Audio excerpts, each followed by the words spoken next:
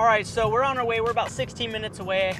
Um, I didn't want to film the intro when I was on the freeway because it was just so noisy. Hopefully you guys can hear with the mic here right here on my chest. I got my cat. I mean, we're ready to go. This is the first video in this series where I'm gonna be touring the most exotic Airbnbs in the world, not just the country, in the world. So right now we're going through some road work. The host seems amazing. The pictures seem amazing.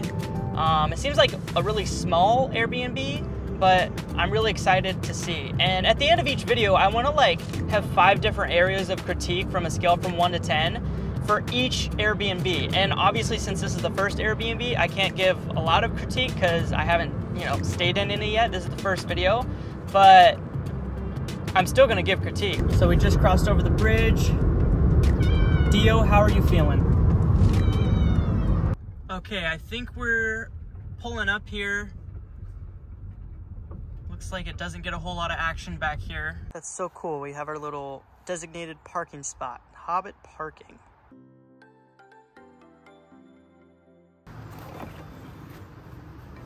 All right, so we got all our stuff and we're headed down. It's parked next to two houses. Um, both are the owners, but yeah, let's see what this underground masterpiece has. I want to say it's right up there, but let's walk around because if we walk up there, technically we'd be on the roof and I got a bunch of luggage that I don't want to drop down on. Weak knees, weak knees. That's cool though. I feel like it already looks different than in the pictures. Oh, that is cute. Oh, that is so cute. Look at that. Look at that. I love that. All right, so I just put the cat inside. I just set my bag down and let's look, let's have a look around the, uh, the outside. Got a little fireplace for us.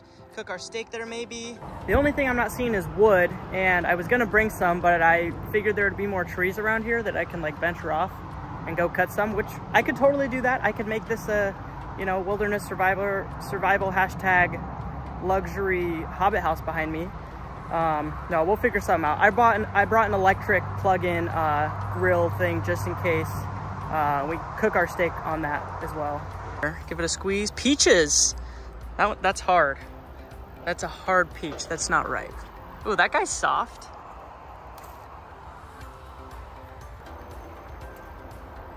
Mmm. That's so small, but that's that's amazing. So this is kind of like a turf, which is interesting. I guess I I didn't like scroll through every single picture. I just kind of booked it last minute. So I didn't notice that it was turf. I thought it was a little more underground. And if it was, it wouldn't be so hot inside, which I'll show you guys. Climbing up here, but no, I just walked inside to uh, drop my stuff off and it was like a heat wave of just, but yeah, here's the top, super cute. Got some random trees that will eventually grow and um, hopefully give this place some shade in the summer for future Airbnbers. I guess I'd be Gandalf right now. Welcome, welcome. Oh, this is so cute. Okay, this is so cute. So, okay, these lights. Yep, okay, for those light switches. We'll leave those on for now while we're videoing. Uh, not insulated. That's probably why it's super hot. It's got some faded white paint on it though. It's a cool clock. Bunch of ships. I don't know, were there ships in the in the Hobbit? I don't know. It's interesting. It's cool. Got a cool checkerboard chair. The making of the Hobbit house. We'll look through that later. That's exciting. Cookies. Woo! We'll be eating some of those. Matches. Like a full thing of water. Coffee if we need it. Some food, tea, board games, which I can't play. Maybe Dio will play with me. You can play with me, Dio? Yeah? That's super cool. Got the screen if we want to leave the door open at night, which we probably will. Electrical plugins. Awesome. Okay, look at all these pictures, though. One does not simply walk into Smordor. I don't know what the accent is. It's fine though. Oh, that's so cute. Look at that's a good that's a good picture. It's awesome. Chess. Got the pipe. This is so cool. There we go, Mr. Mr. Mr. Pippin right there. Sneaky little hobbitses. Oh, look at that. That is not a hub house. That is a mushroom house. All right, and then we have our bed with my little my little travel companion just laying on it. So while the fan's off, it's super freaking hot in here. I don't know if you can see I'm sweating. But um so I mean, yeah, just for two people, um, obviously no AC, summertime sucks. Of course, we're in Washington right now. We're on Bainbridge Island, which is just a beautiful island in Washington. So I want to take a second to talk about today's sponsor, Ox Power. I mean, these guys are absolutely amazing. When they say they have a thousand lumens, it puts off a thousand lumens. They sent me these two boxes, which are fog lights. I hooked them up on my car. They're just so bright. They serve their purpose. I mean, I think they come off really stylish as well. Ox Power also has flashlights, headlamps. So go check them out. Link in the description. This golf. So this is exciting. This is, you know, oh, that is so cool. Look at that. Bunch of kiddos just going after it with shovels. I mean, that is that's dirt. That's there's nothing there yet. You got the house in the background, bunch of kiddos. Oh, that is super cool. Okay, it's built now. Look at that. Okay. So we got, you know, our our framing up. Looks like tin maybe. That look I don't know. Maybe it's just a vapor barrier. They got their cutouts with their cute little circular windows. Uh, laying the laying the laying the pavers, the bricks down, painting it. See, that's where maybe I was confused because that that's before the turf. Must have removed the dirt from. I don't know if you guys can see that, but look, I mean, they they they used to have dirt on it, so I wonder if it, it was too heavy or if it started getting just. I mean, it's super rainy in Washington, so maybe just the so maybe it just started to just who knows, maybe it broke through. They had to clean the whole thing out. That's something kind of interesting. There's before the door was painted. Boom, woo! They got their little squirt guns. The pictures looked like it was dirt, like it looked like a legit underground hobbit house, which I think would need to be maybe stronger beams, a different material. I, am gonna ask them, but I'm gonna figure out why they had to go from the, the dirt roof to now this, this fake turf, which you know, my first thought was like, you know, I, I was expecting like an underground hobbit house. So the turf kind of threw me off a little bit. Yo, are you hot? You got the fan, you just chilling over there, you spoiled little kitty. Uh, it is probably 95 degrees in there. It is so hot tonight. Once the sun goes down, I'm gonna put the fan like right next to the door and just blow in a bunch of cold air. So it's about 3.30 right now, so I'm gonna go downtown um, kind of along the water and just kind of explore the island.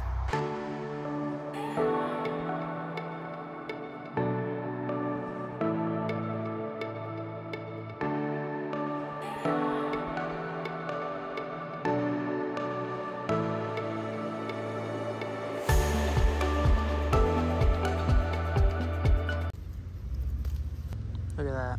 It's a bunny. How small he is. Oh no.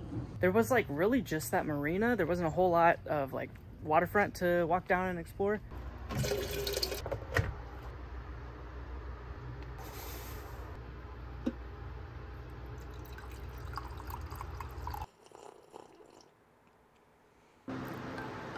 And it just looks like a bunch of brains.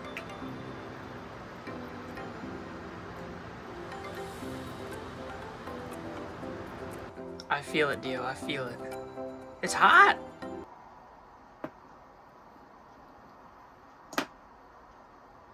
You can't do that. You can move this one. You want to move the bishop, okay.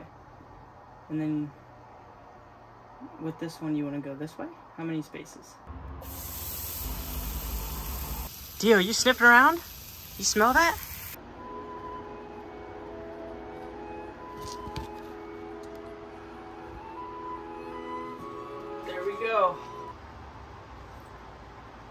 Totally kidding, by the way. I didn't draw that.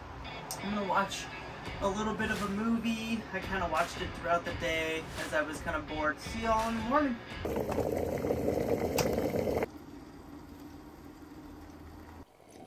Futon super comfy. I slept well. Um, bugs weren't an issue. I had the door open, but they have this like circ circular screen that I put up. And so I put the fan like on the outside, put the screen on, so it blew through the screen.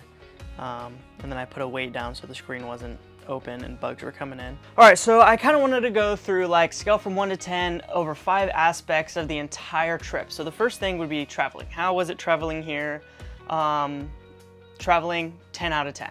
It was, I'm literally 40 minutes from here.